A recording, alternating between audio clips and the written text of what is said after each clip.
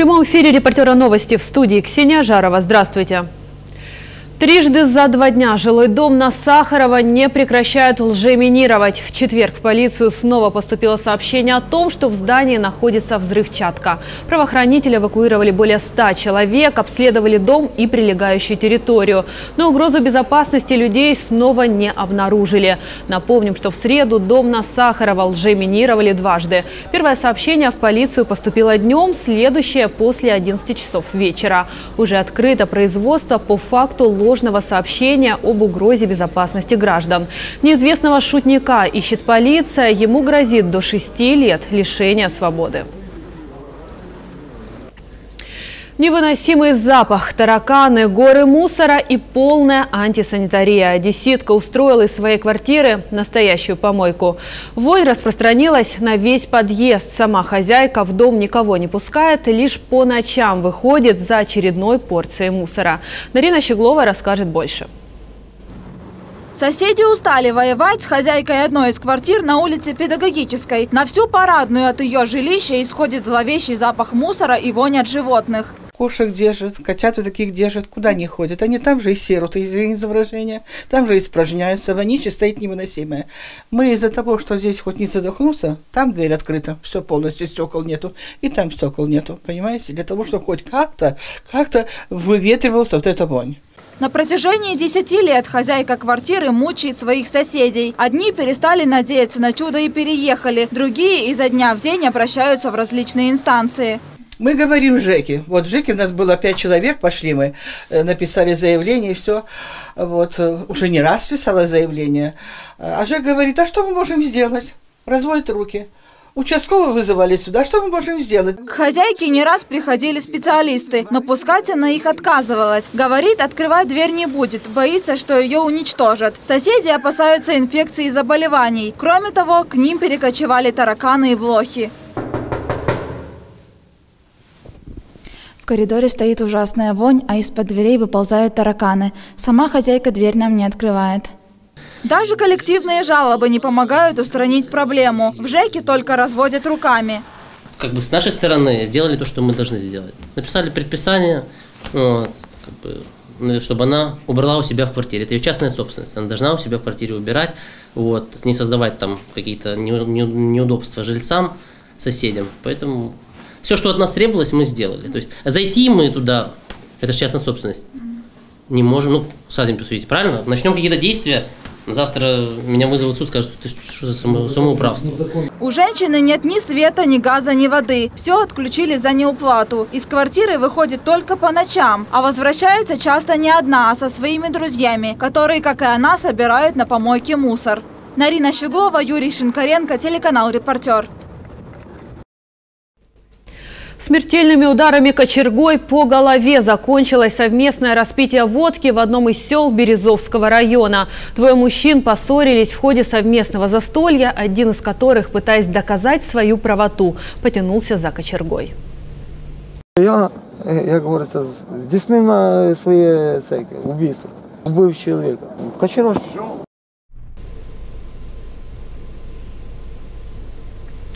Удары инструментом пришлись в голову потерпевшего, от которых он скончался. Було розпочато кримінальне провадження, передбачене частиною 1 статті 115 Кримінального кодексу України умисне вбивство. В теперішній час чоловіка затримано слідством вживаються заходи по встановленню усіх обставин цієї події. Досудове розслідування триває. Очередной новострой на территории прибрежной зоны. Прямо на склоне 12-й станции Большого фонтана со вчерашнего утра начались строительные работы пятиэтажного отеля. Раньше на этом месте находилось кафе возле самого моря. Любопытно, что строители оградили куда больше кусок, чем тот, который раньше занимало заведение. В частности, они спустились на 20 метров ниже по склону. Согласно информационной табличке, здесь проводятся строительные работы. Разрешение выдал Департамент муниципальной безопасности власти еще 6 ноября в инспекции архитектурно-строительного контроля уверяют, что строительство законное. В восьмом месяце или, или в девятом управлением архитектуры были выданы условия и ограничения э, на строительство отеля. Э, у юридического лица заказчики есть э, земля, аренда земли, там, получается, состоит из двух участков. На, на один у них аренда, а на второй у них гусак. Э, им, ими был разработан проект, данный проект прошел экспертизу, и в сентябре или в октябре этого года ими получено разрешение у нас на строительство отеля. Отмечу, что рабочие на объекте, как только увидели съемочную группу репортера, сразу же скрылись. Охрана же попыталась прогнать журналистов, сказав, что это частная территория и съемка здесь запрещена. Бесконечная долговая яма. Одесса облэнерго снова грозит обесточить дом на Успенской 4. Об этом сообщили переселенцы с Донбасса, которые проживают в здании на протяжении последних лет. Проблемы с РЭС начались еще два года назад, после того, как в помещении восстановили электроснабжение. Договор с Одесса облэнерго переселенцы заключить не могут из-за бюрократии. Не получается платить и предприятию, которое арендует здание у облсовета. Долги за свет уже превышают превышают 200 тысяч гривен. Однако переселенцы убеждают, необходимая сумма давно собрана, проблема в юридических нюансах. С мая месяца 2017 года мы периодически перечисляем деньги на счет облэнерго за потребленную нами электроэнергию. У нас в каждой квартире установлены э, приборы учета, по которым мы снимаем показания с каждой семьи, э, собираем деньги и перечисляем данные деньги на счет облэнерго. Э, после того, как мы перечисляем деньги, деньги нам в течение какого-то времени возвращают обратно на карту. Законность нахождения в здании подтверждают справками временно перемещенных лиц, в которых указано фактическое место жительства по этому адресу. За годы, проведенные в Одессе, своими силами сделали ремонт в квартирах. Кроме того, поставили электросчетчики, которые так и не приняли на баланс. Переселенцы просят вернуть зданию на Успенской статус общежития и заключить с ними договоры на оплату воды и электричества. На любых условиях, на любых условиях, которые законодательно могут быть, э, так сказать, применены к данной ситуации, люди согласны на проживание. Они не требуют, отдайте нам это в собственность. Они просят, оставьте нас здесь и позвольте нам платить, самим делать ремонт, самим э, оплачивать электроэнергию, воду, водоотведение, канализационные услуги и так далее. Вот. Но им говорят, нет, нет, мы с вами не хотим это, этого, мы не разрешаем вам этого делать. Изначально заезд переселенцев в нежилое здание на Успенской расценили как самозахват помещения. В облсовете людям предлагали несколько вариантов переезда – в села Борщи и Степовое. Но условия там, по мнению переселенцев, неподходящие. Говорят, что готовы сменить дом на Успенской на жилое помещение при возможности в черте города. Сейчас в здании проживает более 130 человек, в том числе дети, люди с инвалидностью и участники АТО. Государство не профинансировало бесплатную вакцинацию взрослых от кори. Об этом сообщили в городском департаменте здравоохранения. Министерство здравоохранения на этой неделе выделило на детей Одесской области 25 тысяч доз вакцин. Специалисты настаивают, что если в семье хоть кто-то заболел корью, все родственники должны привиться в течение 72 часов. Взрослые могут купить вакцину в аптеках. Государство не выделило средства на вакцинацию. Значит, мы написали запрос э, Значит, потому что э, это государственные субвенции. Мы написали запрос в облздрав с просьбой, чтобы нам выделили средства для проведения вакцинации взрослого населения. Пока, значит, положительного ответа нет. Значит, а потому что они запрашивают министерство. Значит, если э, они нам будут отказывать, э, мы будем принимать решение. Но мы не имеем права проводить двойное финансирование по бюджетному кодексу. Что касается нехватки семейных врачей, в Одессе остается еще около 20% специалистов, у которых есть свободные места для подписания деклараций. По словам Елены Якименко, в случае нехватки врачей Горздрав планирует открыть дополнительные вакансии для сотрудников первичной медицины. Православная община села Ярославка Саратского района опровергла свой переход в Православную Церковь Украины. Недавно на страницах интернет-изданий разместили информацию о переходе от УПЦ к ПЦУ, что спровоцировало волну возмущения среди местных жителей. Они считают, что сотрудник Саратской райадминистрации инициировал попытку изменить статус религиозной общины и для этого собирал подписи односельчан за переход в Православную Церковь Украины. Чтобы не допустить этого, прихожане по Покровского храма провели собрание общины, на котором более ста человек проголосовали за то, чтобы оставить храм в подчинении Української православної церкви. Зайдуть сюди строго прихожання. І тут ми на місці відкритим голосуванням голосуємо, щоб не було тарапаки, як я кажу, по нашому Ярославському. Сторонники одні перейдуть в цю сторону, сторонники в цю. Ми перерахуємо людей. Діло в тому, що сьогодні піднявся галас, кругом дзвонять, кажуть, що нашу, нашу церкву об'явили вже в розколі. Що наша церква з, з 2 декабря вже не, не служить, що з, а з 2 февраля вже буде е, проводитись служба е, з новосозданої церкви, яку зараз создали, автокефальної нової церкви. Це було в Фейсбуці. Хто це пустив, хто це зробив, ми не знаємо. В то же время, по данным Одесской епархии, сторонники новосозданной православной церкви Украины все равно рапортовали о переходе общины. В тот же день жители села снова экстренно собрались возле Покровского храма, на котором уже 249 прихожан своими подписями подтвердили предыдущее решение. Це ж спеціальна провокація пішла. Це фейкова е, інформація, вона провокативна. Я вважаю, що ті люди, як свого з обману починають, вони не можуть бути церквою.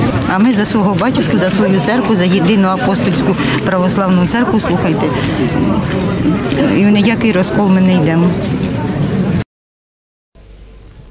Малиновский суд принял решение рассматривать дело об избиении школьницы в закрытом режиме. На этом настаивали прокурор, представитель службы по делам детей и адвокаты обвиняемых. Это сделано якобы в избежание психологического давления на девочек. Против был защитник потерпевшей. Он настаивал на открытом заседании из-за резонанса, но судья встал на сторону обвиняемых. Кроме того, прокурор хотела продолжить ночной домашний арест девушкам еще на 60 суток, но суд отклонил отклонил ходатайство. Он отпустил их под личное обязательство. Суд, э, по-видимому, э, руководствовался принципом гуманизма больше, чем принципом справедливости и э, не удовлетворил, к сожалению, ходатайство прокурора. Было предварительное судебное заседание, на нем главный вопрос рассматривался – назначать ли судебное заседание к слушанию, либо есть какие-то основания для того, чтобы этого не делать. Кроме того, к делу приобщили гражданский иск защитника потерпевшей о моральной и материальной компенсации на общую сумму 2 миллиона гривен. Напомню, 27 июля несколько девочек избили несовершеннолетнюю школьницу и сняли это на видео. Причиной конфликта между ними стал парень, который ранее встречался с одной из нападавших, а затем начал ухаживать за потерпевшей. Участниц драки обвиняют по статьям хулиганства, совершенные группой лиц, грабеж и побои. 52 тысячи в месяц и почти миллион гривен в год. Такая сумма нужна благотворительному фонду «Корпорация монстров», чтобы не остаться без крыши над головой.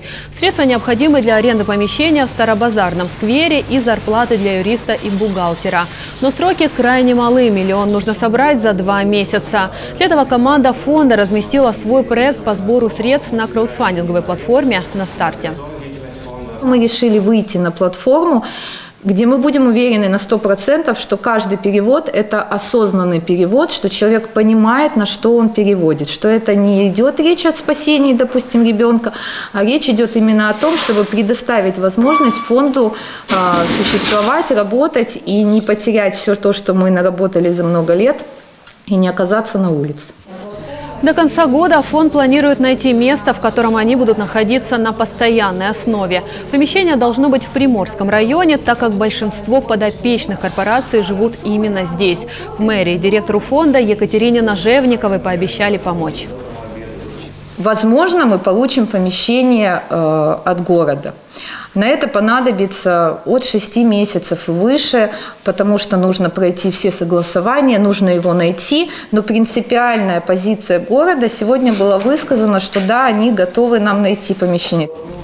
Напомню, фонд «Корпорация монстров» ежедневно помогает детям-сиротам, людям, нуждающимся в срочном лечении, малообеспеченным семьям и пенсионерам. Оставшись без попечителя, который платил за аренду помещения, фонд стал независимым, но остро нуждающимся в средствах.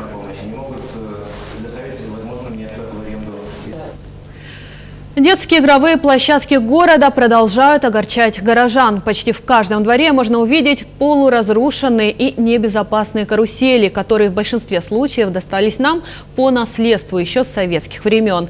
И только небольшая часть из них находится на балансе ЖКС, который в лучшем случае может покрасить ржавые трубы. За остальными же следить некому, поэтому ситуацию в свои руки приходится брать активистам. Где играют и будут играть одесские дети, узнавала Светлана Давжук. Большинство детских площадок города выглядят именно так. Старые железные горки, небезопасные качели, сломанные грязные песочницы, а также полное отсутствие экологических и эстетически привлекательных игровых элементов. Такие площадки – советское наследие. И даже когда в городе появляется новая детская площадка, обслуживать ее некому. На официальном сайте города указали, что в результате инвентаризации всех детских и спортивных площадок в парках и скверах города выявили 53 детские и 21 спортивные площадки. И большая часть из них находится на балансе ЖКС. Парк Шевченко, игровая площадка, полностью разрушает правильное представление о детском пространстве. Одна пластмассовая вышка, качели сомнительного качества и грязная песочница. Напольное покрытие вообще отсутствует. Еще несколько лет назад, когда нужно было провести инвентаризацию всех детских площадок, изучить, в каком они находятся состоянии, поставить их на баланс ЖКС, э, эта работа, к сожалению, не до конца доведена. То есть из всех тех детских площадок, которые были, условно говоря, найдены, э, они стоят на балансе порядка там, 20%. То есть, условно говоря, из тысячи детских площадок Э, которые нашли э, городские чиновники, порядка там 190, если я не ошибаюсь, находится на балансе. В рамках общественного бюджета в прошлом году было реализовано два проекта. Детские площадки на седьмой станции Фонтана и сквере Жюли Лоссан. Но местные активисты считают, что детские площадки должны выглядеть иначе. Стандартные горки и карусели они хотят превратить в арт-пространство, способствующую развитию детворы, где будет меньше синтетических материалов и больше контактов с природой. Реализовать проект планируют уже весной. Меня удивило это поразительно разительная разница между теми площадками, которые бывают в Европе, в Америке, и между тем, что у нас штампуют, потому что у нас они очень однообразные, э, несмотря на то, что они пестрые, желтые, красные, зеленые, э, но они стандартные, и ну, на самом деле э, вот это их и цвета вот эти яркие, они, они не учат, к примеру, детей какой-то эстетике, культуре. У нас очень много идей, которые мы э, реализовываем в этом проекте. В первую очередь это экологичность. А, благодаря этой площадке мы учим а, вопросам экологии, в первую очередь а, благодаря тому, что используем только натуральные материалы. Мы отказываемся полностью от пластика, даже от переработанного. Площадку будущего планируют построить в парке Шевченко уже на месте существующей. Стоит она еще советских времен. Какой построили, такой и осталось. Создатели проекта говорят, что согласовать строительство с городом сложно, при том, что финансовую помощь не просят. Видимо, в горсовете действуют по принципу «сами не сделаем, но другим мешать будем». Более подробная ситуация с городскими площадками для детей смотрите в нашем итоговом выпуске новостей в субботу. Светлана Давжук, Григорий Евич, телеканал «Репортер». Кабинет министров поддержал идею Минфина, согласно которой временно свободные деньги местных бюджетов запрещается хранить на депозитных счетах. Теперь Одесский горсовет не сможет получить дополнительные поступления в виде процентов с размещенных депозитов. Однако при этом сможет вкладывать свободные деньги в ценные бумаги. Запрет будет действовать в целом по стране до 31 декабря нынешнего года. Наприклад, по місту Одесі за останні три роки, коли ми розміщали кошти на депозитних вкладних рахунках банків, ми додатково отримали до бюджету майже 150 мільйонів гривень. Е, в минулому році ця сума склала чуть менше 20 мільйонів. В 2017 році це понад 75 мільйонів гривень. Я думаю, що це е, кошти додаткові і вони вагомі навіть для навіть для нашого мільярда мільярдного бюджету міста Одеси. Представители местных органов разных городов Украины заявили, что в таком случае не смогут накопить деньги на масштабные инфраструктурные проекты. В Одесском городском департаменте финансов заявили, что рассматривают возможность покупки гособлигаций. Залишки, які у нас на перше число, е, вони 44 мільйони. Ми рахуємо, що ці кошти повинні нам е, працювати станом на сьогоднішній день.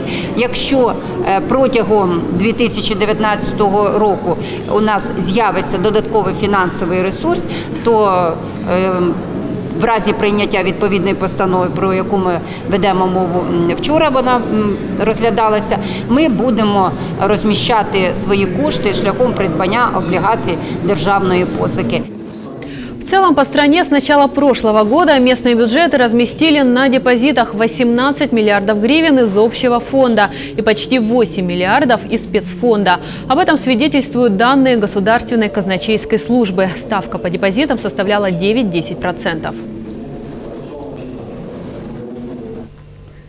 И на этом наш выпуск завершен. Оставайтесь репортером. До скорого.